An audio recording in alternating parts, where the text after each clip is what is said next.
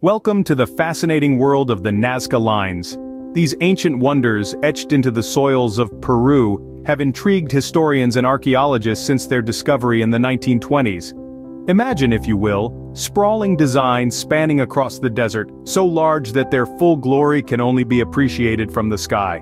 What purpose did they serve? Who created them? The answers to these questions remain shrouded in enigma. Unraveling the mysteries of these giant geoglyphs is what Mysterious History aims to do today. Welcome to Mysterious History, your gateway to the enigmatic past. We are dedicated to unraveling the world's most intriguing historical mysteries, unearthing tales that have been shrouded in the sands of time. Today, we delve into the mysterious world of the Nazca Lines. The Nazca Lines, created between 500 BC and AD 500 are a sight to behold. This elaborate network of lines etched into the Peruvian desert was masterfully crafted by the ancient Nazca civilization. But how exactly did they create these awe-inspiring designs that stretch across miles of desert terrain? Well, the Nazca people were ingenious architects who used their intimate knowledge of the local environment to their advantage. The surface of the Nazca Desert is covered in a layer of reddish-brown iron oxide-coated pebbles. Beneath this layer, the soil is much lighter in color, almost a chalky white. To create the lines, the Nazca people would carefully remove these red pebbles, revealing the lighter earth beneath. The contrast between the dark stones and the lighter soil creates a striking image, visible from great heights above the desert floor. Creating these lines wasn't a task undertaken lightly. It required a deep understanding of the land and a meticulous attention to detail. The Nazca people would first sketch out their designs on a smaller scale, and then transfer them onto the desert floor. They used simple tools such as wooden stakes and lengths of cord to ensure the lines were straight and the shapes were accurate. But it's not just the lines themselves that are impressive, it's the scale. Some of these geoglyphs stretch out over 600 feet across the desert. Creating designs of this magnitude that are coherent when viewed from the sky is a testament to the Nazca people's understanding of perspective and scale. The Nazca lines are more than just beautiful works of art. They're an enduring mystery, a snapshot of an ancient civilization's creativity and ingenuity. These lines, etched into the desert hundreds of years ago, continue to captivate us, pulling us back in time to an era where people communicated with their gods through the earth itself. The Nazca lines are a testament to the creativity and ingenuity of the ancient Nazca civilization.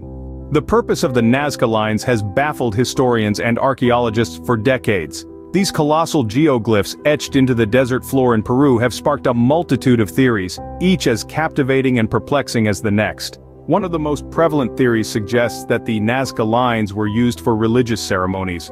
The sheer scale of the geoglyphs, some of which are up to 200 yards long, could imply that they were designed to be seen by divine beings in the sky. This theory is bolstered by the fact that many of the designs depict animals, which were often associated with deities in ancient cultures.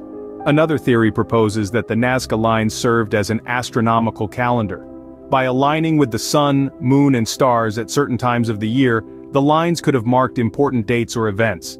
This idea is supported by the precision and complexity of the geoglyphs, which would have required advanced knowledge of astronomy. Then there's the theory that the Nazca lines were messages to the gods. They could have been pleas for rain, given that the Nazca region is one of the driest places on Earth, or expressions of gratitude for a bountiful harvest. Some researchers even speculate that the lines might have served as pathways for spiritual journeys, guiding the Nazca people toward their deities. Despite the compelling nature of these theories, none have been definitively proven. Each offers a glimpse into the possible motivations behind the creation of the Nazca lines, but the truth remains elusive. While these theories provide fascinating insights, the true purpose of the Nazca lines remains one of history's greatest mysteries. The Nazca lines with their intricate designs and enormous scale continue to captivate and puzzle us.